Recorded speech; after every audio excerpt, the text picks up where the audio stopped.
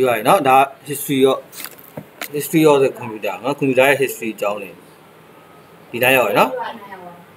ဟုတ်ပြီ characteristic of computer system computer system ရဲ့ characteristic ဝိသေသလက္ခဏာတွေကဘာလဲပေါ့เนาะအဲ့မှာ तू ကဟိုမှာဒီ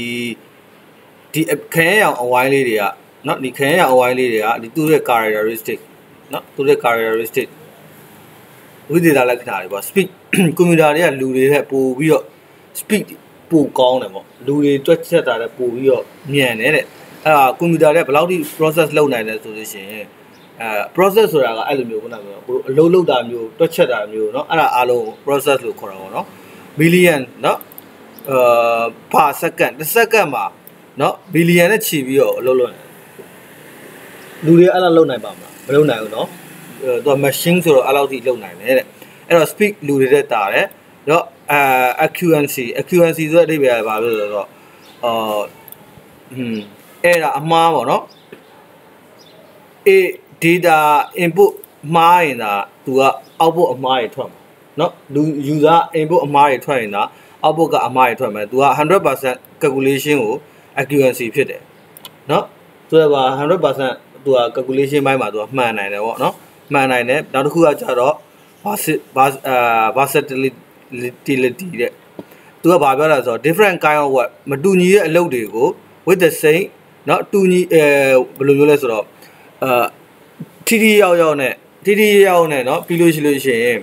စွမ်းဆောင်ရည်ကလည်းစွမ်းဆောင်ရည်နဲ့ PPOA နဲ့မတူညီတဲ့အလုပ်တွေကိုတပြိုင်နက်တည်းမှာလုပ်နိုင်တယ်ပြီးတော့သူ reliable ယုံကြည်စိတ်ချရမှုရှိရတယ်ဥပမာအားဖြင့်ဘယ်လိုလဲဆိုတော့တူညီတဲ့ data ကိုချိန်မှန်များစွာเนาะ same result ဒီဒီ result ကိုပဲချိန်မှန်များစွာထုတ်ပေးနိုင်တယ်ကိုဒီတူညီတဲ့ input ထည့်လိုက်တိုင်းတူညီတဲ့ result ကိုချိန်မှန်များစွာထုတ်ပေးနိုင်တယ် reliable ယုံကြည်စိတ်ချရပေါ့လူဆိုတခါလေးမှားရင်မှားမှာပေါ့နော်ဥမာအာအာ root root ရဲ့ root ရဲ့ဟိုဟာကနေဟိုဒသမဒသမကိုဒသမကိုတွက်ပါလို့ပြောလို့ရှိလို့ရှိရင်လူဆိုရင်တခါလေးမှားနိုင်တာပေါ့နော်ကွန်ပျူတာတော့လုံးဝစိတ်ချရ reliable ဖြစ်တယ်လို့ပြောတာပြီး automation သူတို့ရဲ့အလုပ်တာဝန်တွေကို automatically အလိုလျောက်အလုပ်လုပ်နိုင်တယ်ကွန်ပျူတာမှာလေကွန်ပျူတာအလိုလျောက်အလုပ်တွေလုပ်နိုင်တယ်အာ manual intervention ဆိုတာလူကဘာမှမလုပ်ပေးဘဲနဲ့အလိုလျောက်လုပ်နိုင်တဲ့အပိုင်းတွေရှိရဥမာအားဖြင့်ဘယ်လိုမျိုးလဲဆိုလို့ရှိလို့ရှိရင်ကိုတို့ကအာဟိုဟာကြောက်နော်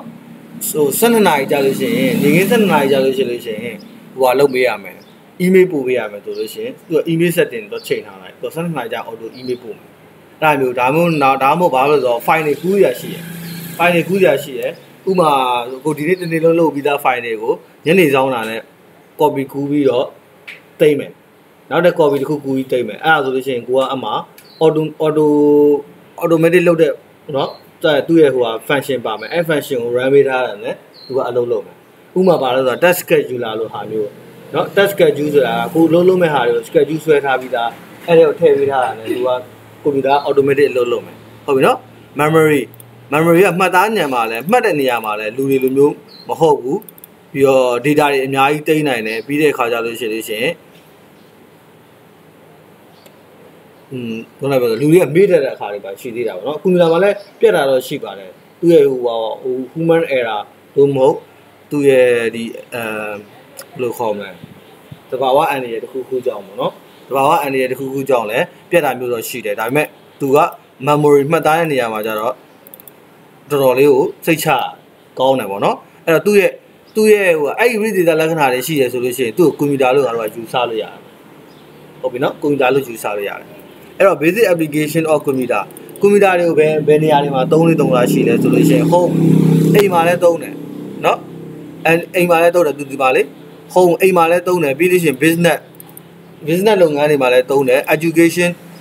education education နဲ့ institution เนาะ institute ဆိုတာဟိုဒီတကယ်ဟိုကျောင်းကြီးတွေပေါ့နော်အဲ့လိုကျောင်းကြီးတွေမှာသုံးတယ်ပြီးလို့ရှိရင် research organization တခုခု research လုပ်တဲ့ဘိုင်းတွေမှာလည်းကွန်ပျူတာမပါမဖြစ်ပဲအဲဥမာဆိုကြပါတော့ဒီ covid 19ဟိုဟာတွေကိုလုပ်တယ်ပေါ့နော်ဒီကုသမဲ့ဆေးတွေ ဆေးတွေပါရ research လုပ်တဲ့အခါမှာကွန်ပျူတာတွေမပါမဖြစ်ပဲပြီးရင် medical field လားဆေးဆေးဆေးပိုင်းသူဆေးပိုင်းဆိုင်ရာတွေမှာလည်း ဒီဟိုဟာတွေတုံးတယ်ကွန်ပျူတာတွေတုံးရတယ်ပြီး government office အစိုးရရုံးတွေမှာလည်းတုံးတယ်ပြီးရင် entertainment เนาะ entertainment ဖြောပြရေးကဏ္ဍတွေဆိုတော့ဥပမာဆိုကြပါရုပ်ရှင်ရုံတို့เนาะရုပ်ရှင်ရုံတို့နောက်ပြီးအစုံရှိမှာပေါ့အဲမျိုးပါလေဒီ show ပွဲတွေဘာတွေအဲ့လိုအကုန်မှလည်းကွန်ပျူတာမပါမှဖြစ်ပဲအဲ့လိုအားဖြင့်ကွန်ပျူတာဘတ်စုံပေါ့ကွာသိလားနေရာအစုံမှာကဏ္ဍအစုံမှာတုံးတယ် ကွန်ပျူတာမှာပါတဲ့နေရာကိုတော်တော်ရှားသွားပြီအဲ့တော့ကွန်ပျူတာလို့ပြောလို့ရှိရင်လူတွေကဒီဒီငါတို့ကိုကြီးတို့သုံးတဲ့ကွန်ပျူတာတွေပဲလက်လုံးထဲမှာမြင်ကြအမှန်တော့ကွန်ပျူတာဆိုတာဘာလို့မျိုးလဲဆိုတော့အလုပ်တစ်ခုကိုအလုပ်တစ်ခုကို instruction ပေးလိုက်တာနဲ့အလုပ်တစ်ခုကိုလုပ်ပေးနိုင်တာအဲ့ဒါကွန်ပျူတာပဲဟုတ်ပြီနော်ဥပမာအားဖြင့်အဲဘယ်လိုဟာမျိုးတွေရှိလဲဆိုတော့ single single user single text နော်အဲ့လိုမျိုးဟို ကွန်ပျူတာမျိုးတွေရှိမယ်ဘယ်လိုမျိုးလဲဆိုလို့ရှိရင်ကိုတို့ပန်းထိုးတာတို့ပါတို့เนาะပန်းထိုးတာတို့နောက်ပြီးလို့ရှိလို့ရှိရင်ဟိုမှာစက်ကူခောက်တဲ့ဟိုစတစ်ကာရိုက်တဲ့ဆက်တွေအဲ့ဒါတွေကသူကဒီ single user user တယောက်ကနေပြီးတော့ insertion ပေးလိုက်တာနဲ့သူကသူလုံးရမယ့်အလုပ်တစ်ခုကိုသူလုပ်လုပ်တယ်အဲ့တစ်ခုပဲသူလုပ်တယ်အဲ့ဒါလည်းသူကကွန်ပျူတာ group ထဲမှာပါတယ်နော်ကွန်ပျူတာ group ထဲမှာပါပြီးတော့သူ့ကိုကွန်ပျူတာလို့ယူဆလို့ရတယ် ဟုတ်ပြီနော်သူ့မှာအဲ့ဒါမျိုးယုံကြည်စိတ်ချရတယ်ဆိုတော့ machine တွေဆို sticker ရိုက်ရဆိုဒါဆိုဒါပဲရိုက်နေရတယ်သူစိတ်ချရတယ်လူလိုမျိုးလက်လိုမျိုးလူနဲ့လက်နဲ့ဆွဲလိုမျိုးဟိုဟိုချော်ဒီချော်တွေပဲမရှိဘူးတစ်ခါတည်းတပုံစံနဲ့ပဲထွက်လာမယ်အဲ့ဒါ reliable ပဲဖြစ်တယ်ယုံကြည်စိတ်ချမှုရှိတယ်အဲအဲ့အဲ့ဝိသေသလက္ခဏာတွေရှိနေတယ်သူတို့မှာဟုတ်ပြီနော်နောက်တစ်ခုကကြတော့ဥမာကိုတို့အခုသုံးတဲ့ကွန်ပျူတာတွေဆို single user multi task လို့ခေါ်တယ်ဆိုတဲ့ဘောက single user user တော့တယောက်တည်းသုံးတာဒါပေမဲ့ multi task တချင်းဖွင့်လို့ရမယ်ဒီကွန်ပျူတာမှာ game ဆော့လို့ရမယ်ခုနကအလုပ်တစ်ခုတည်းမဟုတ်တော့ဘူး game ဆော့လို့ရမယ်တချင်းဖွင့်လို့ရမယ်ဗီဒီယိုကြည့်လို့ရမယ် internet သုံးလို့ရမယ်ဟုတ်လားအဲ့လိုမျိုး text ဘောင်းစုံအလုပ်လုပ်နိုင်တယ်သူကစာစီစာရေးလုပ်နေမယ်အဲ့တော့ text ဘောင်းစုံလုပ်လို့ရဖြစ်တဲ့အတွက် single user multi task တွေမှာပါတယ်ပြီးတော့ multi user multi task ဆိုတာလည်းပါတယ်ဆိုတော့ဒီ computer တစ်လုံးတည်းကိုပဲ user မြောက်များစွာသုံးလို့ရတယ်ဟုတ်တယ်နော်ဥမာဒီလိုဘယ်လိုဟာမျိုးလဲဆိုဒီလို server လို့ set တစ်လုံးရှိမယ်ရှိနေမယ် အဲ့ဒါတမီးတို့သားလို့ရှိမှကျတော့ဘာရှိလဲဆိုလို့ရှိရင်ဒီလို monitor ရယ် keyboard ရယ် mouse ရယ်သုံးခုပဲရှိတယ်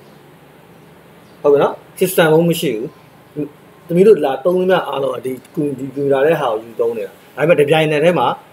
လူအားလုံးသုံးနိုင်တယ်အဲ့ဒါဆို multi user ဖြစ်သွားတယ်ဥဥရောဒီ PC တွေကြတော့ single user ပေါ့အဓိကအားဖြင့် Windows ပေါ့ Windows ကြောင့် single user အာ Windows 10 Pro အဲ့ single user ပြီးလို့ရှိလို့ရှိရင် multi task multi task ကတော့သူကတော့လုပ်ငန်းအစုံလုပ်လို့ရတာပေါ့ဥပမာသမီးစီမှာတချင်းဖွင့်တယ်ဟိုဘက်က game ဆော့ရင်လည်းဆော့နေမှာနော်နောက်တစ်ယောက်တိုင်ပင်ရရင်လည်းတိုင်ပင်နောက်တစ်ယောက်စာရေးစာရေးရရင်လည်းနော်အဲ့လိုပါမျိုး sing multi multi user multi task တွေလည်းရှိတယ်ဟုတ်ပြီနော်အဲ့တော့အဲ့တော့နေရာကဏ္ဍအစုံမှာရှိတဲ့အတွက်ကွန်ပျူတာကိုမတင်မဖြစ်တင်တင်ရမယ်လို့ပြောချင်တာအဓိကကိုကဘယ်လုပ်ငန်းပဲဝင် app တွေ့လားအမှုပညာလုပ်ငန်းတွေမှာဆိုလည်း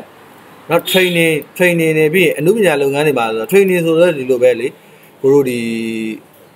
သူ့ရဲ့သူ့ရဲ့ skill ကိုသူ့ရဲ့ training training လုပ်လာတဲ့အဲ့ဒီကစားသမားနော်ကစားသမားရဲ့ skill ကိုဘယ်လောက်ရှိပြီလဲဆိုတော့ကွန်ပျူတာတွေနဲ့တိုင်းတာပြီးရင် add အမှုပညာမှာဆိုလဲငါတို့ကလိုလာပြီနော်ဟို drawing tablet တွေနဲ့အဲ့လိုမျိုးပကြီးဆွဲတာတွေပါအဲ့ဒါတော့ကွန်ပျူတာကိုအသုံးချတာပဲပေါ့နော် science and engineering ဒါတွေကတော့မရှိမဖြစ်တော့လိုတာပေါ့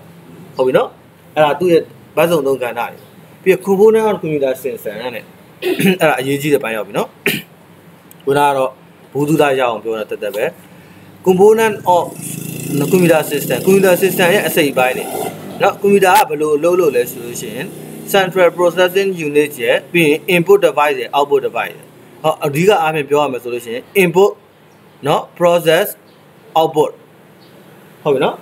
အဲ့ဒါမျိုးသွားတယ်ပြီးလို့ရှိရင်သူ့ရဲ့ ဟိုဟာက central ဥမာဒီပုံလေးကိုကြည့်လိုက်နော်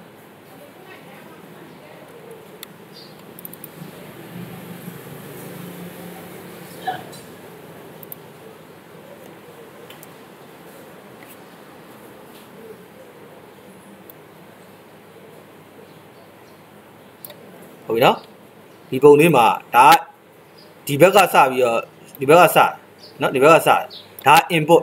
input ဆိုတဲ့အဓိပ္ပာယ်ဥဆိုဥကျော်တို့ဒီကနေပြီးတော့ဟိုဟာလုပ်လိုက်တယ် keyboard တွေเนาะ mouse တွေကနေပြီးတော့ကိုကဒီကနေပြီးတော့ရိုက်စာရိုက်ထည့်လိုက်တယ်ပြီး instruction ခိုင်းစဉ်မှုတွေပေးလိုက်တယ်ပေးလိုက်တဲ့ခါကျရင်ဘယ်ကိုရောက်သွားလဲဆိုလို့ရှိလို့ရှိရင် central processing unit ဆိုတဲ့ဒီเนาะကွန်ပျူတာရဲ့ central processing unit တွေကိုရောက်သွားပဲအဲ့ကနေပြီးတော့သူကဘာလုပ်လဲဆိုလို့ရှိလို့ရှိရင်အဲ့အဲ့လိုအဲ့လို့ရှိလို့ရှိရင်ဥမာကွာတချင်းဖွင့်လိုက်တယ်ဆိုပါစို့တချင်းဖွင့်လိုက်တယ်ဆိုလို့ရှိရင်ဒီမှာ main memory เนาะ main memory ဘောကနေရှိတဲ့တချင်း file ပေါ့ မရှင်းဖိုင်ကိုလှမ်းယူလိုက်တယ်နော် CPU တဲ့ Central Processing Unit တွေကိုလှမ်းယူလိုက်တယ်ယူပြီးတဲ့အခါကျရင်သူကတချင်းကိုဘယ် program နဲ့ဖွင့်ရမှာလဲတချင်းရဲ့ဟိုဟာတွေနော်တချင်းဆိုတော့ဥပဒေကတချင်း file နဲ့ file ဆိုတော့လူရင်းမြင်တော့အတန်လို့ပဲထင်တာလေအမှန်တော့ကွန်ပျူတာထဲမှာသိရပါ0110တွေနဲ့လုပ်လို့တာလေအဲ့တော့အဲ့ကောင်ကိုသူက0110တွေသူကဖတ်တယ်ဖတ်ပြီးတော့ဒီဘက်ကနေပြီးတော့ speaker ကို output ဆိုတဲ့ speaker ကိုသူကပြန်ပြီးတော့အတန်ပြန်ထုတ်ပေးတာဟုတ်ပြီလားအဲ့တော့အဆင့်3 4ဘိုင်းပေါ့ကွာ လိုရရင်တော့တကယ်ဆိုအားလုံးက၄ဘိုင်းရှိတယ် input data ကို input လုပ်လိုက်တယ် data တော့ data data နဲ့ဟိုဟာနဲ့ဟိုဟာ information နဲ့꿰ရနော်မနေ့ကပြထားပြီအဲ့တော့ဒီ data ကိုသူက user input ထည့်လိုက်တယ် central processing unit ကကြည့်တယ်တခါတည်းသူကဘာဖြစ်လဲဆိုတော့လိုအပ်တဲ့အချက်လက်တွေကို main memory ဘောကနေပြီးလှမ်းပြီးတော့တောင်းလိုက်တယ်တောင်းလိုက်တယ်တောင်းလိုက်ပြီးတဲ့အခါကျလို့ရှိရင်ဒီကနေတစ်ဆင့်ဘာဖြစ်လဲဆိုတော့ output device တွေကိုထုတ်ပေးတယ် အောက်ပြီးတော့ speaker တွေပါထုတ်ပေးလိုက်တယ်ဥပမာဆိုတော့ဥဆိုတော့ပုံတပုံ edit လုပ်တယ်ဆိုလို့ရှိရင်ရှိပြီးသားပုံတပုံ edit လုပ်တယ်ဆိုလို့ရှိလို့ရှိရင် input device ကနေပြီးတော့ mouse နဲ့ကိုတော့လှမ်းခေါ်လိုက်တယ်ခေါ်လိုက်တဲ့အခါကျလို့ရှိရင် central processing unit ကပါလဲဆိုတော့ photoshop လိုဟာမျိုးဖွင့်လိုက်တယ်ဖွင့်လိုက်ပြီးတော့ဒီတွေကဖုန်းကိုပုံကို main memory ဘက်ကပုံကိုဒီကောင်ဆွဲခေါ်လိုက်တယ်ခေါ်ပြီးတဲ့အခါကျလို့ရှိရင်ပုံ editing လုပ်တယ်လုပ်ပြီးလို့ရှိရင် user ကို monitor ဘောကနေပြီးတော့ edit လုပ်ထားတဲ့ပုံကိုပြန်ပြနေတယ်အဲ့ကြားထဲမှာမှာ user ကနေပြီးတော့ save လုပ်လိုက်တယ်ဆိုလို့ရှိရင် ဒီ main memory ကနေတစ်ဆင့်နော် main memory ကအဆင့် permanent storage ကြီးပို့ပေးလိုက်တယ်တဘောပေါက်လားမြင်လားမျိုးလုံးထဲမှာဟောတော့ဒီညားလေးကိုရှင်းမှကွန်ပျူတာရဲ့သဘောတရားကို concept ကိုကောင်းကောင်းမိအဲ့တော့ဘာဥပမာနဲ့ထပ်ပြရမလဲဆိုလို့ရှိရင် internet ကနေပြီးတော့ download ဆွဲတယ်ပေါ့နော် internet က download ဆိုတော့ user ကနေပြီးတော့ browser ကိုဖွင့်လိုက်တယ်ဆိုတာအဲ data ဖွင့်တယ် data data ပို့လိုက်တာအဲ့တော့ CPU ကနေပြီးတော့ CPU ကနေပြီးတော့သူကကြည့်လိုက်တယ် browser ဖွင့်မယ်ဆိုတော့ main memory ကနေပြီးတော့ဒီ program တွေကနေပြီးတော့เนาะဒီ hard disk ထဲမှာရှိတဲ့ program ကိုသူက program ကို Google Chrome ဆိုတဲ့ program ကိုသူကသိ CPU ရဲ့ဆွဲခေါ်လိုက်တယ်ဆွဲခေါ်လိုက်ပြီးတော့ output ဖြစ်တဲ့ display ကနေပြီးတော့ Google Chrome ပွင့်လာဟုတ်ပြီနော် Google Chrome ပွင့်လာပြီးတော့မှ user အဲတိုက်ရိုက်ကြည့်နေတဲ့အချိန်မှာသူကဒီတဲ့ကိုဒီ data main memory ကိုဖြတ်ပြီးတော့ဒီဘက်မှာ hard disk တစ်ခုရှိမှာပေါ့ဒီမှာ hard disk ရှိမှာ hard disk အလုံးကြီးရှိမှာနော်အဲ hard disk ကို ဥကျော်ကပြန်ပြီးတော့မပို့သေးဘူး data တွေဒီမှာပဲသုံးနေလို့ရှိတယ်အဲ့မှာ user file တစ် file ကိုပုံတစ်ပုံ download ဆွဲလိုက်တယ်ဆွဲလိုက်တဲ့အခါကျရင် central processing unit ကတစ်ဆင့် memory ကိုရောက်သွားတယ် memory ကတစ်ဆင့်ဒီဘက်ကို hard disk ထဲမှာသွားသိမ်းလိုက်နောက်တစ်ချိန်ပြန်ခေါ်ရင်ကြတော့ဘာဖြစ်လဲဆိုတော့ browser မခေါ်တော့မှ user ပုံကိုတစ်ခါတန်းဖွင့်မယ်ဆိုရင် CPU ကနေပြီးတော့ main memory ကတစ်ဆင့် hard disk တွေကပုံခေါ်လိုက်တယ်ပြီးလို့ရှိရင် central processing unit ကိုရောက်မယ် central processing unit ကတစ်ဆင့် monitor နဲ့ပြန်ပြ ဟုတ်လားမျက်လုံးကရှင်းလား okay ဟုတ်ပြီအဲ့တော့ central processing unit central processing unit ဆိုတာဘာလဲ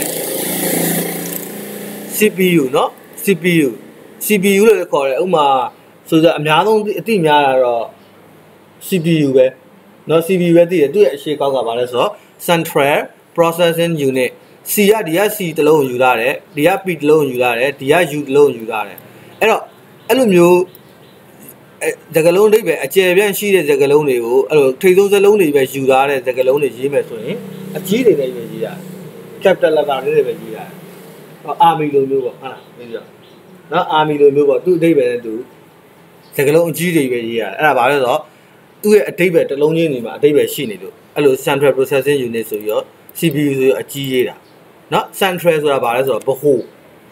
နော် processing ဆိုတာကငါတို့ကဟိုအလုပ်လုပ်ပြီးတွက်ချက်ပြီးเนาะအဲ့ဒါကို processing လို့ခေါ်တယ် unit ကအဖွဲ့အစည်းအဲ့တော့အလုပ်လုပ်တဲ့ဘ ਹੁ အဖွဲ့အစည်းပေါ့เนาะတွက်ချက်တဲ့ဘ ਹੁ အဖွဲ့အစည်းပေါ့နားလဲတာတမီးတို့နားမလဲတခါလဲမေးတော့အဲ့ဒါမှ concept ကမိပါအဲ့တော့တို့နောက်တစ်မျိုးဘယ်လိုခေါ်လဲဆိုတော့ the brain of the brain of computer computer ရဲ့ brain လို့ခေါ်တယ်အုံနောက်လို့ခေါ်တာပေါ့ဟုတ်ပြီနော် လူရဲ့ခန္ဓာကိုယ်မှာဆိုလို့ရှိရင် brain ကအရေးကြီးတယ်လေ brain ကအရေးကြီးတယ် brain ကတွက်ချက်တယ်နောက်မှတ်သားတယ်နောက်ပြီးလို့ရှိလို့ရှိရင် response တခုခုဆိုတုံ့ပြန်မယ်ဆိုတော့ brain ကတုံ့ပြန်တယ်ဟုတ်တယ်နော်ဥမာ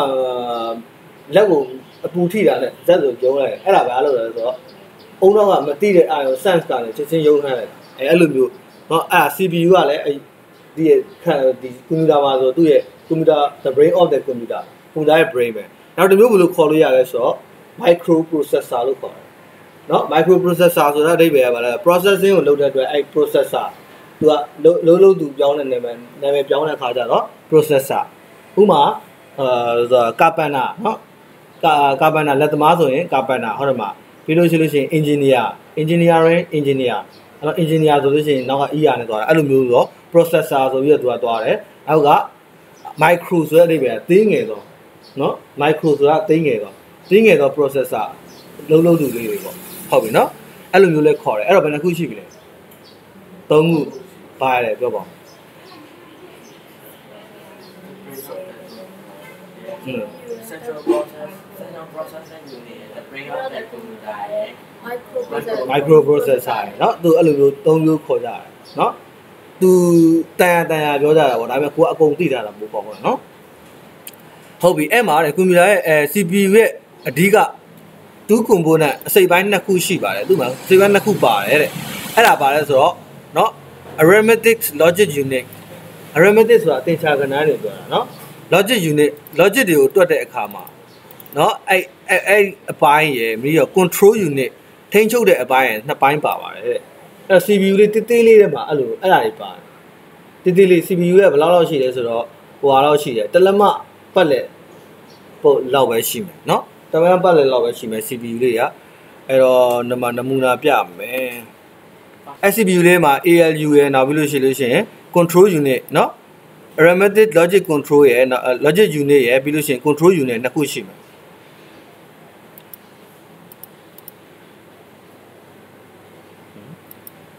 ဟုတ်ပြီနော် ALU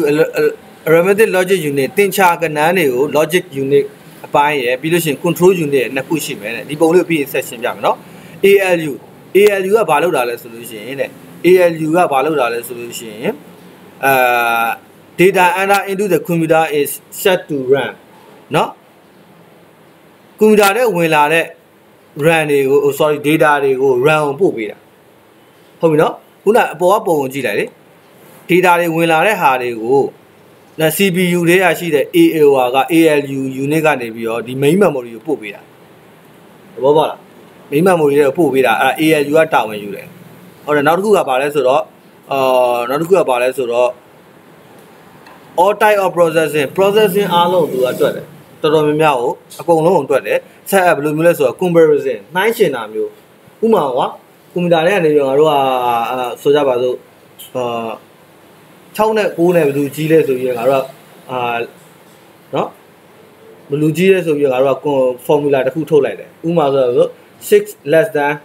9အဲ့ဆိုအဖြေက true ဆိုပြီးတော့သူကပြန်ထွက်ပေးတယ်အဲ့ဒါပါ ALU ALU ကနေတွက်ပေးတာဟုတ်ပြီနော်ငါတို့ကဥပမာ9 greater than 9 greater than 10အဲ့လိုမေးလို့ရှိလို့ရှိရင်သူက pro အဲ့ဥစ္စာကိုပြန်အဲ့လို comparison မျိုးကိုဥပမာ color တွေတူလားမတူလားအဲ့လို comparison လုပ်တဲ့ခါမျိုးမှာ ဗာလဲဒီ ALU unit ကအလုပ်လုပ်ဟုတ်ပြီနော်နောက်တစ်ခုက decision making ဆုံးဖြတ်တဲ့အခါတွေမှာ ALU unit ကလုပ်တယ်ဆုံးဖြတ်တဲ့အခါတွေဆိုတာဥပမာအမေ game ဆိုလို့ရှိရင် game ဆိုလို့ရှိရင် automatic ဆုံးဖြတ်ရတာမျိုးတွေရှိတယ်အဲ့ဒါမျိုးက ALU unit ကတွက်တာမျိုးပေါ့နော်ဥပမာနောက်တော့ဆုံးဖြတ်ရတဲ့ကဏ္ဍတွေအများကြီးရှိတယ်ကွန်ပျူတာထဲမှာလေဥပမာတစ်ခုခုကိုလုပ်မယ်မလုပ်ဘူးလုံးတင်တာမလုံးတင်လားအဲ့လိုမျိုးဆုံးဖြတ်ရတဲ့အခါတွေမှာ ALU unit ကတွက်တယ်ပြီးတော့ non numeric form formation အဲ့ဒါတွေကိုလည်းတွက်တယ်ဥပမာက A ခုနက number တွေမဟုတ်တဲ့ခုနကတော့ကိုယ်ကတင်ချာကဏ္ဍအပေါင်းတွေဟိုဟာတွေအကုန်လုံးကိုနော်ဒီမှာ process compare အဲ့လိုဟာမျိုးတွေအားလုံးကိုတွက်တဲ့အပြင်ကိုသူကဘာဖြစ်လဲဆိုတော့ number မဟုတ်တဲ့အာ number မဟုတ်တဲ့ဟို information တွေကိုလည်းသူကဘာဖြစ်လဲ process လုပ်ပေးပါတယ်တဲ့ဆိုတော့က A A to Z တွေကဒါမှမဟုတ် special character တွေ input အဲ့ဒါတွေ data အသွားလာတွေအားလုံးကိုလည်းသူကတွက်ပေးပါတယ်တဲ့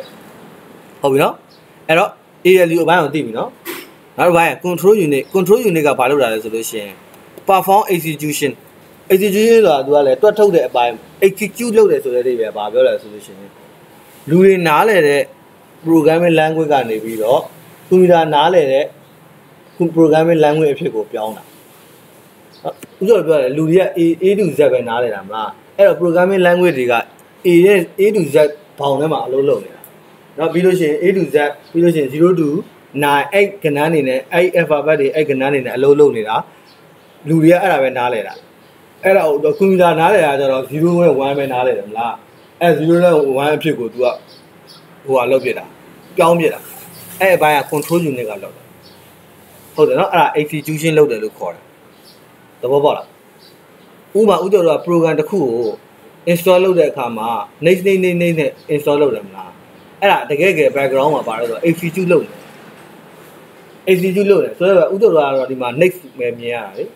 အဲ့ background မှာပါလို့ဆိုတော့ तू ကအဲ့ program တွေက file တွေကို तू က001နဲ့01 format ကိုပြောင်းလိုက်တာเนาะ machine language လို့ခေါ်တယ်01ဥကျော်တို့ကနားလည်လို့မလွယ်ဘူးလေသူက01တွေ10တွေပြောင်းလိုက်တဲ့အခါကျလို့ရှိရင်အဲအဲ့ဟာ machine language ဖြစ်သွားတယ်အဲ့ဒါဥကျော်တို့ကနားမလည်နိုင်ဘူးနားမလည်ဆိုတော့တေချာဖတ်ရင်တော့နားလည်မှာပေါ့နော်ဒါပေမဲ့အရင်မြောက်များစွာပါလာတဲ့ဟာကြကဏ္ဍတွေအများကြီးပါလာတယ်အဲ့လို01တွေအများလာတဲ့ခါကျတော့ဥကျော်တို့တွက်လို့ လူတွေအုံနောက်နဲ့တွက်လို့ပြန်ခတ်သွားတယ်အဲ့ဒီခါကျတော့အဲ့ဒါကိုသူကဘာလို့လဲဆိုတော့ machine language အဖြစ်ကိုသူက convert လုပ်ပြလိုက်တယ်ပြောင်းလိုက်ဟုတ်ပြီနော်နောက်တစ်ခုက maintain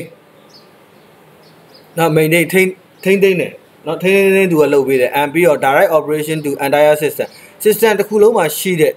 operation လုပ်ဆောင်ချက်အားလုံးကိုသူက direct နော် direct သူကထိန်းချုပ်ပြီးတော့ direct manage လုပ်ထားတယ် maintain ဆိုတာသူက manage လုပ်ပြီးတော့ထိန်းသိမ်း စီမံခန့်ခွဲပေးတယ်နော်ထိန်းသိမ်းသိမ်းလုပ်ပေးတယ်ပြီးလို့ရှိရင် operation ကိုသူကဘာဖြစ်လဲဆိုတော့ direct ခိုင်းပေးတယ်အဲ့ဒါက control unit ကလုပ်တာနော်ဟုတ်ပြီအဲ့တော့ control unit လောက်ရမယ်ဟိုဟာလေးတွေပါတယ်ခဏလေးနော်အဲ့တော့ control unit ရဲ့ function အလုပ်တွေကဘာတွေလဲဆိုလို့ရှိရင် it control all activity of computer computer ထဲမှာရှိတဲ့ activity ဆိုတာလုပ်ဆောင်ချက်အားလုံးเนาะလုပ်ဆောင်ချက်အားလုံးကို control လုပ်ထားပါတယ်တဲ့เนาะသူကထိန်းချုပ်တယ်သူ့နာမည်အတိုင်းပဲလေ control unit ပါဆိုမှပဲသူက control လုပ်တာပေါ့သူ့ရဲ့နာမည်အတိုင်းပဲသူကသူ့ရဲ့နာမည်အဲ့အဟာကိုယူသားလို့ control unit ဖြစ်သွားတာဟုတ်ပြီနော် supervised flow of data within CPU CPU ထဲမှာစီးဆင်းနေတဲ့ data အချက်လက်တွေကို supervised နော်ကြီးကြပ်ကိုယ်ကဲပေးတယ်အဲ့ဒါလေးတွေဟိုဟာဖြစ် meaning လေးလည်းတခါတည်းဟိုရအောင်နော်ဘာသာလေးလည်းတခါတည်းပြန်ပေးတာပေါ့နော် supervise လုပ်ပေးတယ်နောက်တစ်ခုက direct flow of data within CPU CPU ရဲ့မှာ data တွေ direct flow စီးဆင်းမှုအတွက်ကိုလည်း control unit ကတာဝန်ယူတယ်ပြီးတော့ transfer data เนาะ arithmetics and logic unit เนาะအဲ့ ALU ပေါ့နော်အဓိကအားဖြင့် ALU က data တွေကို transfer လုပ်ပေးတယ်ဒီမှာနမူနာအားဖြင့်ပါ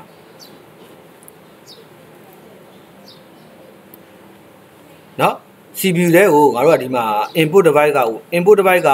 data ပို့လိုက်ပြီပို့လိုက်တဲ့ခါကျ AB ALU ကနေပြီးဘာလုပ်ရလဲဆိုတော့ control unit ကိုပို့ပေးလိုက်တယ်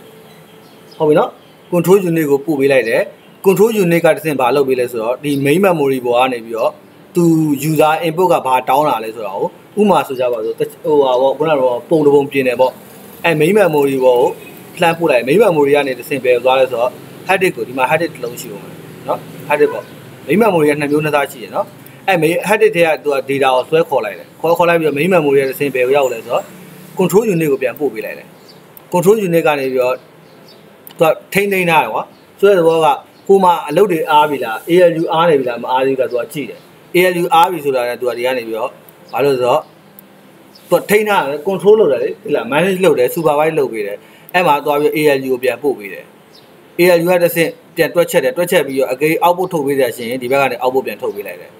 နော်အကေပြန်သိမ်းကြရှိလို့ရှိရင် control unit ကိုပြန်ပို့ပေးတယ်ပြီးရင် memory ကိုပြန်ရောက်တယ် memory ရဲ့တစ်ဆင့်ဘယ်လိုသွားမလဲ hard disk ကိုပြန်သွား မယ်မြင်မြင်လားမျက်လုံးတော့မြင်လားအဲ့တော့ဒီဟာလေးကိုဒီပုံလေးကိုပြရင်ပုံမြင်နေမယ်နော်ဟုတ်ပြီနော်အဲ့ကြောင့်မလို့ तू ကဘာဖြစ်လဲဆိုတော့ transfer data to တွေ့လား ALU ကို data ပြန်ပို့ပေးတယ်လို့ပြောတာပြီးတဲ့အခါကျတော့ transfer result to memory memory ဘက်ကိုလည်းဘာဖြစ်လဲ ALU ကို data ပို့ပေးလို့ memory ကိုလည်း data ပြန်ပို့ပေးတာ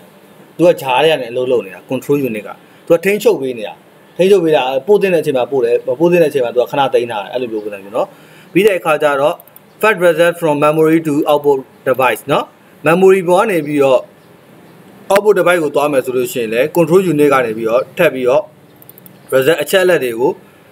ပြန်ပို့ပေးတယ်အဲ့တော့ sorry ALU ကနေပို့ပေးတာမဟုတ်ဘူးခုနကတော့ output device ကို control unit ကပို့ပေးမှာ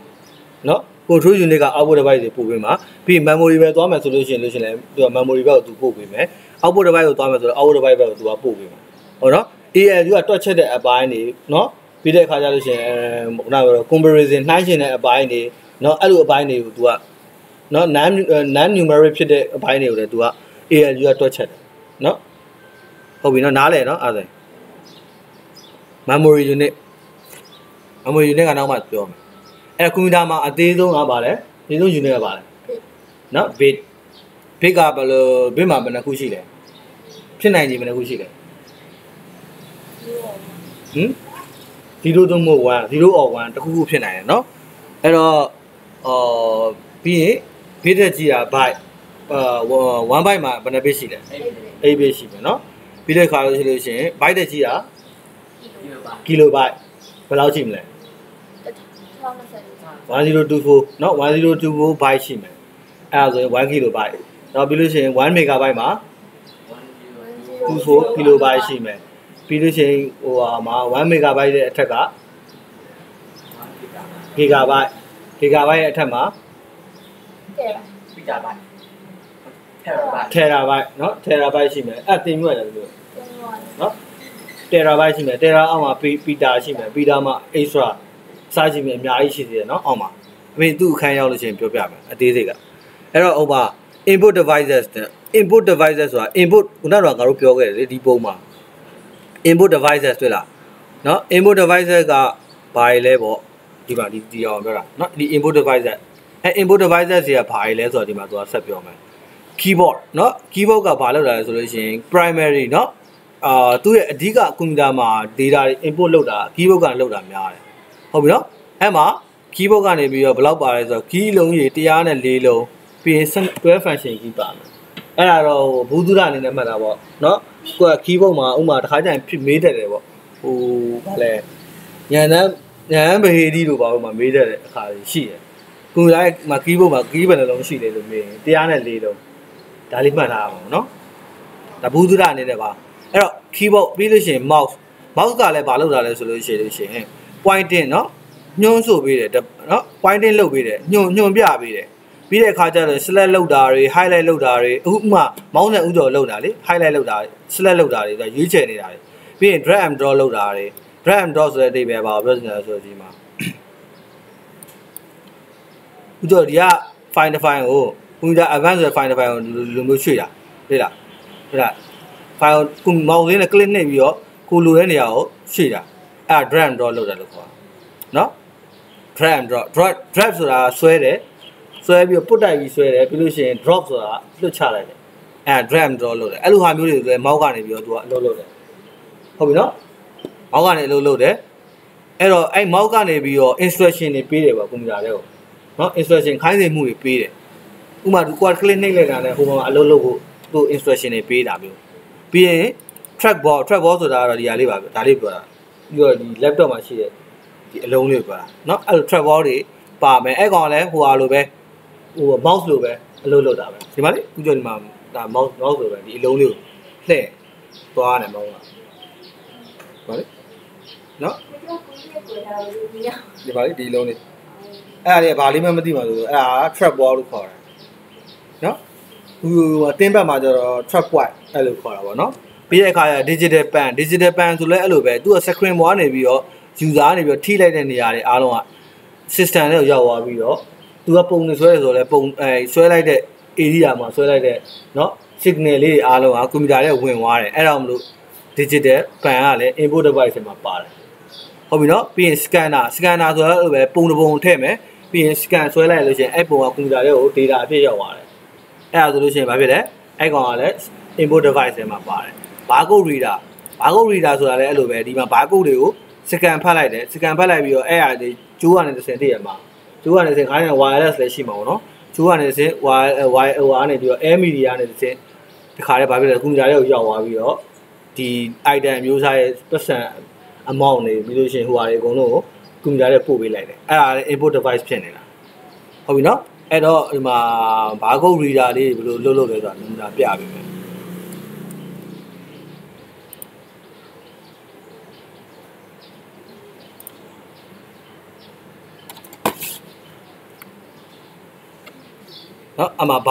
This is barcodes in one lesson. Barcodes are found on virtually all products that you see in any store. When a laser from a computer scans a barcode, it's actually scanning through a series of 95 evenly spaced columns and checking to see if each one of those columns is reflecting a lot of laser light or virtually none. Computers only understand ones and zeros, so any of the columns that reflect computer only know 1 and 0ပဲသိတယ်ဟုတ်နော်1 and 0ပဲသိတယ်ပြီးတော့ဒီ barcode လေးတွေကို तू ကဒီလိုမျိုးအပေါ်မှာအပေါ်ကနေပြီးတော့ तू ကနေပြီးတော့ဒီဒီနေရာကိုဖတ်လိုက်တဲ့အခါကျတော့ဒီပုံမှာ तू ကဘာလို့ဆိုတော့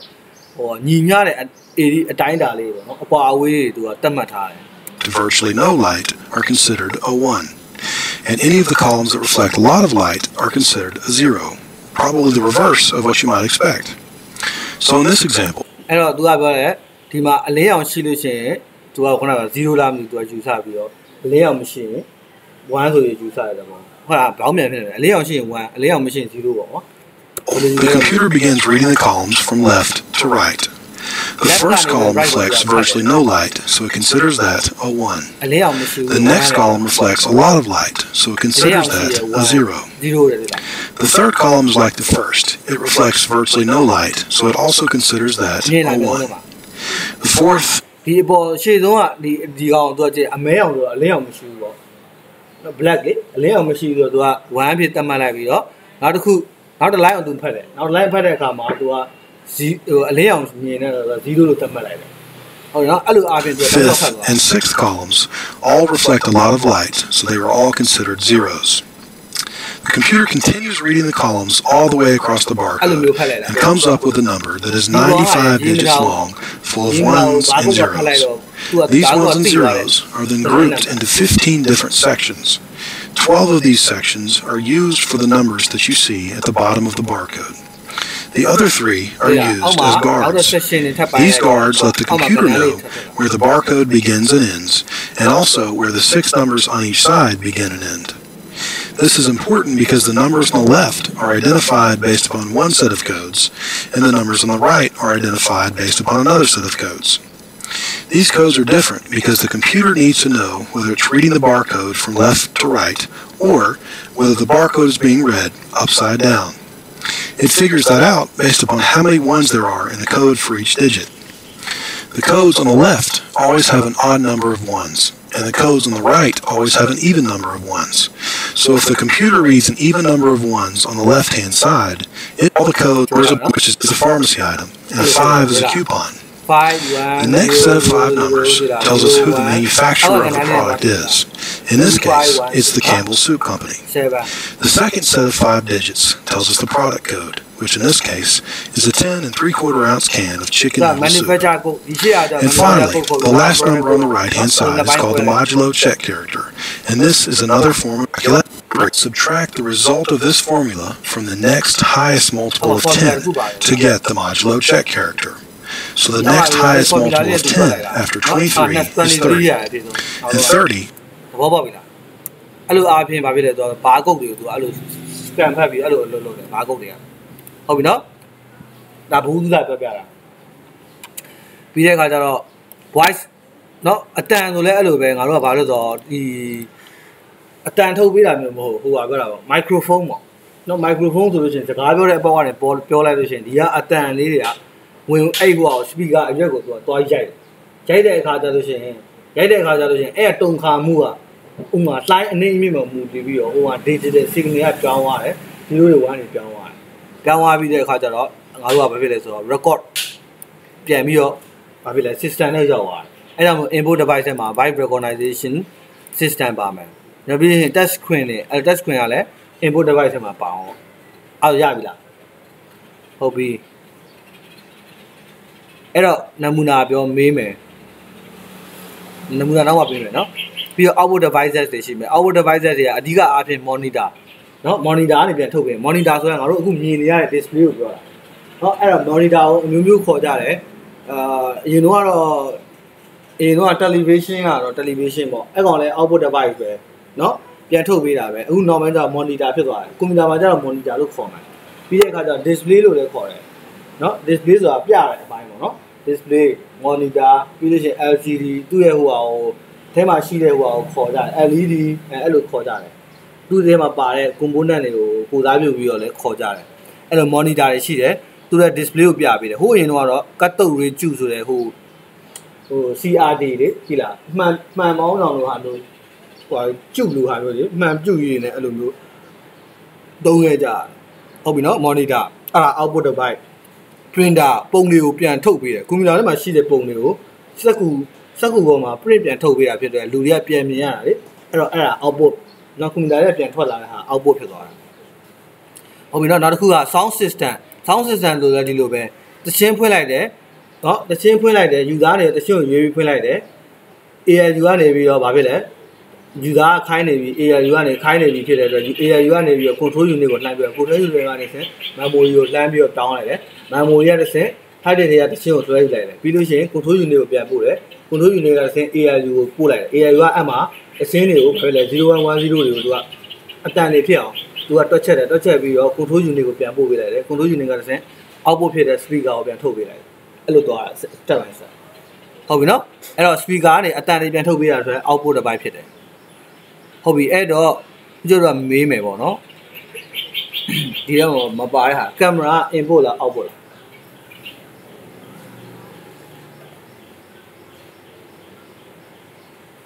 ကျန်မှာအမ်ဘူ ဟုတ်ပြီတယောက် input တယ်လူ output output တယ်လူဟမ် scale လို့ဟောအင်းရော input ဟမ်ဆိုတဲ့ input ပဲနော်ဟော input ဆိုမှန်တယ်ကင်မရာကဘာလို့ input ဖြစ်ရလဲဆိုလို့ရှိလို့ရှိရင်ကိုယ့်ရဲ့ဒီရုပ်ဒီရှေ့မှာရှိနေတဲ့လူရဲ့ပုံရိပ်ကိုသူကဟိုဟာဖတ်လိုက်တာနော်ဖတ်လိုက်ပြီးတဲ့အခါကျလို့ရှိရင်ကွန်ပျူတာတော့သူကအဲ့ data ရောက်သွားတာလေအဲ့ကြောင့်မလို့သူကဥမာ လူယူချင်ပါတယ်ငါပုံကြီးမပြတော့ဘူးအဲ့တော့ကင်မရာဖတ်လိုက်တဲ့ခါကျလို့ရှိလို့ရှိရင်ဒီခါလေကိုယ့်ရဲ့ဒီရှေ့မှာရှိတဲ့ပုံရိပ်ကိုသူကဖတ်လိုက်တာဖြစ်ပြီးတော့ဥပမာလည်းပြန်ထည့်တာပဲ import device ဖြစ်တယ်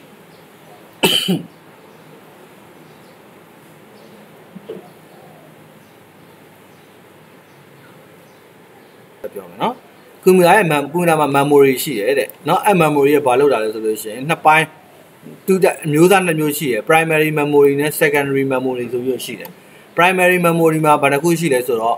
ကွန်ပျူတာရဲ့ primary memory မှာเนาะဘာတွေရှိလဲဆိုလို့ရှိလို့ရှိရင် motherboard မှာသူကတခါတည်းပါတဲ့အစိတ်ပိုင်း memory ဆို motherboard မှာတခါတည်းတွဲဆက်တာ motherboard နဲ့ချိတ်ဆက်ရတယ်ပေါ့နော်အဲ့မှာဘာလဲဆိုတော့နှစ်ပိုင်းရှိတယ် RAM နဲ့ ROM နဲ့ဟုတ်နော် RAM နဲ့ ROM နဲ့ဆိုရင်နှစ်ခုရှိတယ်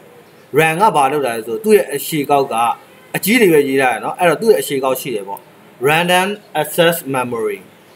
နော် random ဆိုတော့ဗာလဲဆိုတော့ random အလေးပဲကြုံရကြပန်းမမလိုပြန်မယ်ဆိုကြုံရကြပန်းပေါ့အစင်လိုက်မဟုတ်ဘူးကွာဟိလားကြုံရကြပန်းသူ့မှာ data တွေကြုံရကြပန်းသူကထည့်ပေးရတယ်နော်ကြုံရကြပန်းထည့်တယ်ပြီးတော့ run run ကကြတော့ read only memory read only memory random မဟုတ်တော့ရှေ့က read read ဆိုတာကဖတ်တာ only ဆိုတော့ဖတ်လို့ပဲရတယ်သူ့ရဲ့ memory ကဖတ်လို့ပဲရတယ် write လုပ်လို့မရဘူးအဲ့တော့ RAM မှာတော့ quarter ရရှိရ RAM မှာကြတော့ read ရော write ရောလုပ်လို့တာပေါ့ရေးလို့လည်းရတယ်ဖတ်လို့လည်းရတယ်ဟုတ်နော်အဲ့တော့ तू က RAM ရဲ့အဓိပ္ပာယ်က temporary memory ပဲတဲ့ယာယီ memory ပဲဖြစ်တယ်တဲ့ပြီးတော့အဲ့မှာဘာလို့လဲဆိုတော့ data တွေကို store လုပ်ထားတယ် information သတင်းအချက်အလက်တွေကို store လုပ်ထားတယ်เนาะပြီးတဲ့အခါကျလို့ရှိရင် loss ပျောက်ဆုံးသွားတယ် once computer is turned off ကွန်ပျူတာပိတ်လိုက်တဲ့အခါမှာပျောက်သွားတယ်သဘောပေါက်လားအဲ့တော့ဥစ္စာတို့က ဟိုဟာလုပ်တယ်ကွာအင်တာနက်ကနေပြီးတော့အင်တာနက်မှာကိုတို့ website တစ်ခုကြည့်နေတယ်အဲရုပ်တရက်ရုပ်တရက်မီးပြတ်သွားတယ် UBS ကလည်းမကောင်းကွန်ပျူတာဘုံလို့ကြာပါ VPN ဖွင့်လိုက်ကိုတို့အင်တာနက်ကအဲခုနပုံဟိုဟာကြည့်နေတဲ့ website ရှိသေးလားမရှိတော့ပြန်ခေါ်ရတာဘာကြောင့်လဲဆိုတော့ဥစ္စာတို့က memory ပေါ်မှာအလုပ်လုပ်နေတာဖြစ်တဲ့အတွက်ဆိုရပါတော့ memory ပေါ်မှာအလုပ်လုပ်နေတာဖြစ်တဲ့အတွက် memory ပေါ်မှာဘာမှမကြက်အဓိကအမှတ်မှာက RAM မှာမီးပြတ်တာနဲ့ power ပိတ်လိုက်တာနဲ့အဲ့ memory ပေါ်မှာဘာမှတစ်ခုမှမကြက် သူက power ဖွင့်ပြီးတော့စသုံးတဲ့အချိန်မှာအဲ့မှာအဲ့ memory ထဲမှာ data တွေ information တွေတိတ်ထားတယ်ပြီး CPU ကလိုလို့ရှိရင်ဟိုက control unit ကတောင်းရင်သူကပေးတယ်ဟုတ်တယ်နော် control unit ကခိုင်းစီလို့ရှိလို့ရှိရင်လည်း output over တွေကို generate over တွေကိုလိုလိုလိုအပ်သမျှကိုသူကလုပ်ပေးတယ် control unit က CPU လိုတဲ့ဟာတွေအကုန်လုံးသူကလုပ်ပေးတယ်ဟောဥပမာအားဖြင့်မျိုးလုံးတော့မြင်အောင်ပြောရမယ်ဆိုလို့ရှိရင်ပယံအဲအိမ်ဆောက်တာအိမ်ဆောက်တဲ့ခါပယံသမားတွေရှိမှာလား ပယံဆရာကြီးက CPU နဲ့တူပြီးတော့ RAM ကဘာနဲ့တူလဲဆိုတော့အုတ်တွေကြောက်တွေတဲတွေတဲပြီးတဲ့အခုတွေနဲ့တူတယ်သဘောပေါက်လားအဲ့တော့ဥတော်တို့ကဘာဖြစ်လဲဆိုတော့ပယံဆရာကြီးကအကောက်အုပ်ပေးတယ်လို့ဟိုကတောက်ကနေပြီးတော့အုပ်ပေးရမှာသူကဟုတ်ပြီနော်ပြီးတဲ့ခါကျတော့ရှင်ဘီလက်မေးပေးဆိုဘီလက်မေးပေးရမှာအဲ့လိုအားဖြင့် तू ကနောက်က CPU ကိုထောက်ပံ့ပေးတယ် CPU ကလိုအပ်တဲ့နော် information data တွေအချက်လက်တွေ तू ကထောက်ပံ့ပေးနေတယ်အဲ့ဒီမှာအာဥမာကွာ तू က ဟိုဆိုတဲ့သဘောကဒီ PN ဆရာကြီးဆိုလို့ရှိရင်အလုပ်ကပြန်သွားပြီးရင်တော့သူ့မှာတာဝန်တွေရှိနေသေးတယ်သဘောပေါက်လားဒီအိမ်ကြီးကိုငါဘယ်လိုပြီးအောင်စောင့်မယ်ဘယ်အချိန်မှပြီးအောင်စောင့်မယ်ဘယ်လိုပုံစံနဲ့စောင့်မယ်ဆိုတော့ PN ဆရာကြီးမှာတာဝန်ရှိတယ်သူကဆိုတော့ grammar ဆိုတော့ဟိုဟာသူကအကူဆိုတော့လေပြန်သွားပြီးသူ့မှာဘာတာဝန်မှမရှိပါဘူးအဲအဲ့လိုသဘောမျိုးပဲနမူနာပေါ့နော်ဒါမျိုးလုံးနဲ့မြင်အောင်မီးပြတ်သွားတဲ့အခါကျရင် तू ကဘာလုံးမှမလုပ်တော့ဘာ data မှမကြံဘူးသူ့မှာ သူ့ဘာမကောင်းတယ်မှာဘာမှမရှိဘူးကွာသူကဘာတာဝန်ယူမှသူမလုပ်တော့သဘောပေါက်လားမီးဖွင့်ထားတဲ့အချိန်မှာတော့သူကမီးဖွင့်ပြီးပါဝါစဖွင့်ပြီးတုံးတဲ့အချိန်မှာတော့သူကအလုံးလုံးနေဟုတ်ပြီနော်အဲ့ကြောင့်မို့ temporary လို့ပြောတာယာယီဘယ်တော့အသေးတူလောင်လာတာမဟုတ်ဘူးယာယီပဲတူလောင်လာတာဖြစ်တယ်မျိုးလုံးနဲ့မြင်တယ်နော်ပြီးတဲ့အခါကျတော့ it is volatile memory volatile ဆိုတာကငါတို့ကပြုပြင်ပြောင်းလဲလို့ရတယ်ပေါ့နော်သွားပြီးတော့ edit လုပ်လို့ရတယ်ပြုပြင်ပြောင်းလဲလို့ရတယ်အဲ့တော့ instruction written in the memory instruction เนาะခိုင်းစေချက်တွေကိုငါတို့ကအမှရေးထားတယ် memory ထဲမှာရေးထားတယ် can be modified เนาะပြီး modify ဆိုပြုပြင်လို့ရတယ်ဟုတ်ပြီเนาะအဲ့မှာ has also known as programmable memory programmable ဆိုတာကအာငါတို့ကဒီ program ဆိုတော့ program ကိုဘယ်လိုပါလာပြန်မလဲ program လို့ပဲပြန် programmer လို့ပါအောင်ကြားဘူးတယ်မလားအဲ့လို program ငါတို့ဒီကွန်ပျူတာကနားလဲကွန်ပျူတာကနေပြီးတော့လူကနားလဲတဲ့ language ကနေကွန်ပျူတာနားလဲတဲ့ language ဘက်ကိုရေးတဲ့လူတွေအဲ့ဒါ programmer အဲ့ program able ဆိုတော့သူ့ကိုအဲ့လိုပြုပြင်ပြောင်းလဲလို့ရတယ် program တွေကိုရေးလို့ရတယ် memory လို့ပြီးတော့လူသိများတယ်เนาะအဲ့တော့သူ့မှတ်သားရမှာဗါလဲဆိုတော့ RAM random access memory ပြီးတဲ့အခါကျတော့ temporary storage temporary memory ပြီးရင်နောက်တစ်ခုကဘာဘာဘာလဲဆိုတော့ အာနောက်တစ်ခုကဘာလဲဆိုတော့ programmable memory ဟုတ်ပြီနော်အဲ့လိုမျိုးမှတ်သားရမယ်ပြီးတဲ့အခါကျလို့ရှိရင်နောက်တစ်ခုကဘာလဲဆိုတော့ power အဓိကအရေးကြီးဆုံးအချက်ကသူ့က power ပိတ်လိုက်ရင်သူ့တယ်မှာဘာ data မှမကျန်ဘူးဆိုတာဟုတ်ကဲ့ဟုတ်နော်အဲ့တော့ကိုတို့ကဥပမာ Microsoft Office Word တွေဘာလဲဆိုတချို့ရိုက်ဘူးလေလို့ရှိမယ်ကွန်ပျူတာမှာစာစာစီစာရိုက်လုပ်နေတယ်စာရိုက်နေအဲ့ဒါ RAM ပေါ်မှာအလုပ်လုပ်နေတာအဲ့ချိန်မှာမီးပြတ်သွားရင်ကိုလုပ်ထားတဲ့ဟာပြတ်သွားတယ် အဲ့တော့ဘာလုပ်ပေးရလဲဆိုတော့ save လုပ်ပေးရတယ် save လုပ်လိုက်လို့ရှိရင်ဘာဖြစ်လဲဆိုတော့ memory ရတဲ့စင်အဲ့ permanent storage ဖြစ်တဲ့ memory ရတဲ့စင် sorry primary storage primary memory ဖြစ်တဲ့ RAM ရတဲ့စင်ဘယ်ကိုသွားသိမ်းလိုက်လဲဆိုတော့ hard disk မှာသွားသိမ်းလိုက်เนาะ hard disk မှာသွားသိမ်းလိုက်အဲ့ဒါမှသာလည်းနောက်မီးပြတ်သွားလည်းမပြတ်တော့အဲ့ file မပြတ်မှာဟုတ်ပြီเนาะအဲ run type ကအမျိုးသားက static run နဲ့ dynamic run ဆိုရရှိတယ် static run တွေကပို့ပြီးတော့ဘာဖြစ်လဲဆိုတော့အာ static run တွေက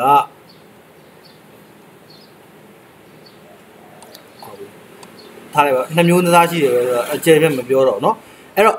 function or run run ရဲ့ function လုံးဆောင်ချက်တွေပါဆိုတော့ is store data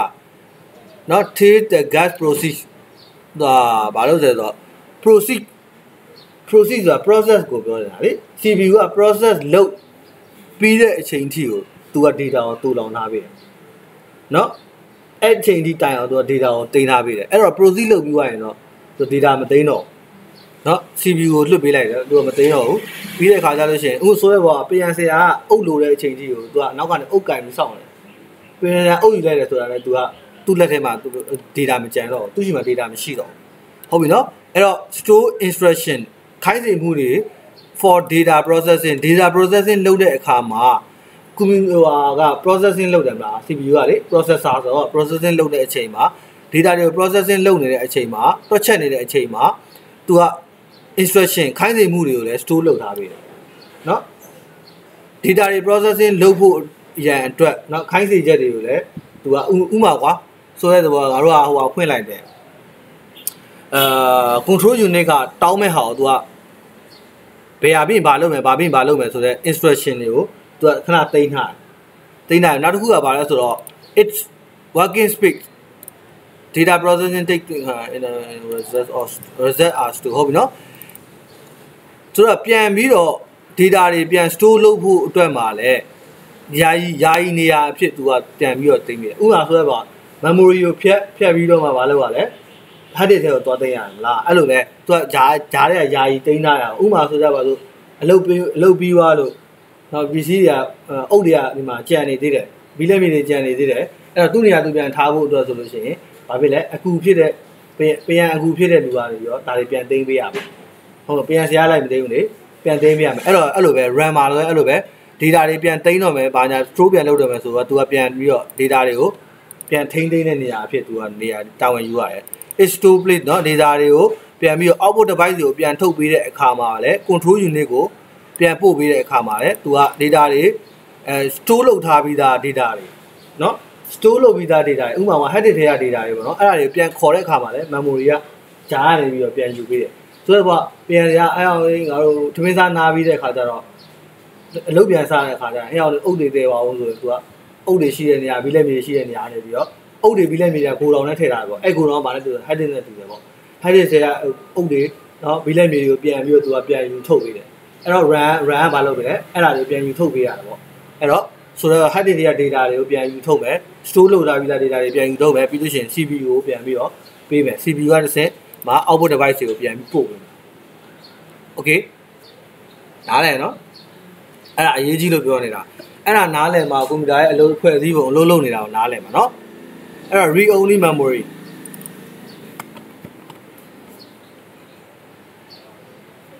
နော် read only memory read only memory ကဘာလုပ်တာလဲဆိုလို့ရှိရင်တဲ့ဒါလေးပြီးပြအောင်ရှင်းလိုက်မယ်နော် read only เนาะသူက read only ဖတ်လို့ပဲရတယ် as a permanent memory ခုနကတော့ကငါတို့ကဘာဖြစ်လဲ volatile လုပ်လို့ရတယ် volatile ဆိုတာကပြုပြင်ပြောင်းလဲလို့ရတယ်ပြီး modify ပြုပြင်ပြောင်းလဲလို့ရတယ်เนาะ volatile memory ဖြစ်တယ်เนาะနောက်တစ်ခုကဘာလဲဒီကောင်းကြတော့ဘာဖြစ်လဲ permanent memory permanent ဆိုတော့သူကဘာလဲမလုပ်ထားပြီလေအာ permanent မှင်ဆိုဖြတ်လို့ရလားမရဘူးလေ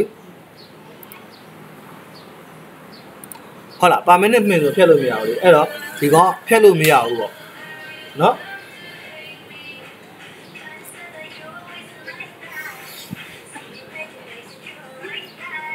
အဲ့တော့ तू က permanent memory ဖြစ်တယ်တဲ့နောက်တစ်ခုကဘာလဲ information store เนาะ available even computer is stand on computer ပိတ်ထားရင်တော့သူရှိရ data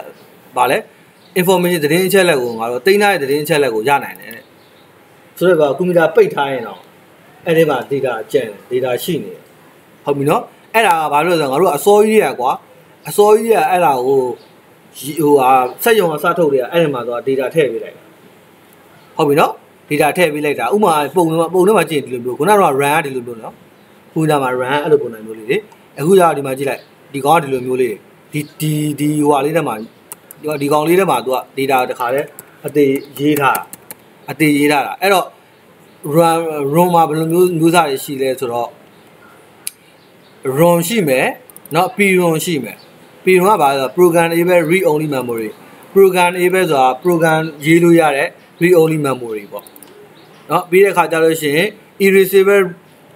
piron ဆိုတာလည်းရှိတယ်နော် e piron ပေါ့ဆိုတော့ irreversible ဆိုတော့ပြန်ဖြတ်လို့လည်းရတယ်ပေါ့ပြန်ဖြတ်လို့ရတာအလွယ်တကူဖြတ်လို့မရအောင်အလွယ်တကူဖြတ်လို့မရအောင်သူ့ကို infrared ရောင်ကြီးတွေနဲ့ဖြတ်ပြီးတော့ပြန်ရေးရပြန်ပြီးတော့ပြန်ရေးပြပြီးတော့ဟိုမှာအာသူ့ရေးတဲ့ဟိုဟာ electronic device တီးတန်းရှိတယ်နော်ပြီးတော့ electrically irreversible တွေ့လားလျှက်စစ်နဲ့ဖြတ်ပစ်လို့ရတဲ့ ROM တွေလည်းရှိတယ် အဲ့တော့ဒါလည်းအများကြီးပါလျှက်စစ်ပိုင်းတွေဖြစ်သွားပြီအဲ့တော့မပြောတော့ဘူးဆိုတော့အကြမ်းမြင်အပြင်မှတ်ရမှာ read only memory လို့ပဲမှတ် ROM ဆိုတော့ကတကယ်ကိုဟိုစက်ယုံကလူလူတွေပြီးတော့တကယ် technician ကြီးတွေပဲအဲ့ကောင်တွေက data အချက်လက်တွေကိုပြန်ပြင်နေရေးတယ်သူတန်မှန် user အနေနဲ့လုံးဝဘာမှမလုပ်ဘူးပြီးတော့ read only ပဲသူရှိရဖတ်ရုံသက်သက်ပဲဟုတ်ပြီနော်အဲ့ဒါအဲ့လို memory ရှိတယ်နားလည်နော် အဲ့တော့ဒီမှာနှစ်ခုတိုင်းရှင်ပြ ROM နဲ့ RAM နဲ့တိုင်းရှင်ချက်ပါ it is volatile memory เนาะ volatile ဖြစ်တယ် volatile ဖြစ်တယ်ဆိုတာကခုနပြောလို့ကိုတို့ဟိုဟာဖြစ်တာပေါ့เนาะပြုပြုပြင်ပြောင်းလဲလို့ရတယ်ပေါ့အဓိကပြီးတော့ non volatile memory ဖြစ်တယ်ပြီးတဲ့အခါကျလို့ရှင်အာနော် content are temporary temporary သူ့ထဲမှာရှိတဲ့ data တွေကအချက်အလက်တွေကဘာဖြစ်လဲ temporary ယာယီပဲဖြစ်တယ်နော်ပြီးတဲ့အခါကျရင်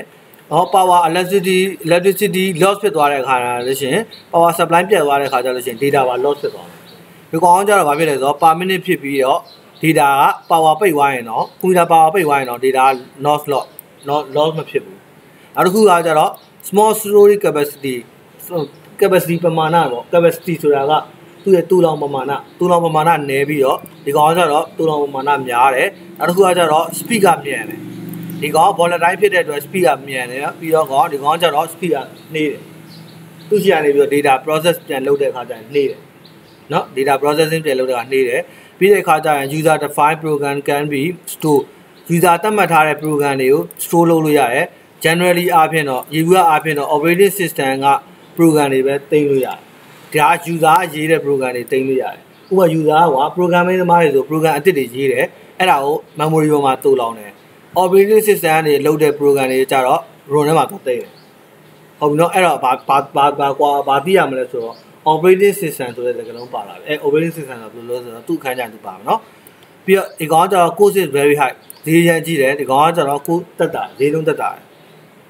နော်ဈေးဈေးကအတင်းတင်းရှိတယ်နောက်တစ်ခုကကျတော့2 type RAM မျိုးသားရှိတယ် S RAM နဲ့ D RAM နဲ့နှစ်မျိုးတစ်ခါရှိတယ်နောက်တစ်ခုကကျတော့ဘာဖြစ်လဲဆိုတော့ဒီကောင်ကတော့အမျိုးသားတွေအများကြီးရှိတယ် PROM EPROM EEPROM နော်အားရှိတယ်ပြီးရင် flash memory အစားရှိနေရှိတယ်ဟုတ်ပြီနော်အားဆိုလို့ရှိရင်အဲကိုတို့ကဒီ memory အထိကိုဟို second memory နောက်မှစတင်မယ်နော် second memory နောက်မှစတင်မယ်ခဏရက်မယ်ပြီးတဲ့ခါကျရင်တိုက်ပဲကြည့် okay ဒီနားမလဲမရှိဘူးနော်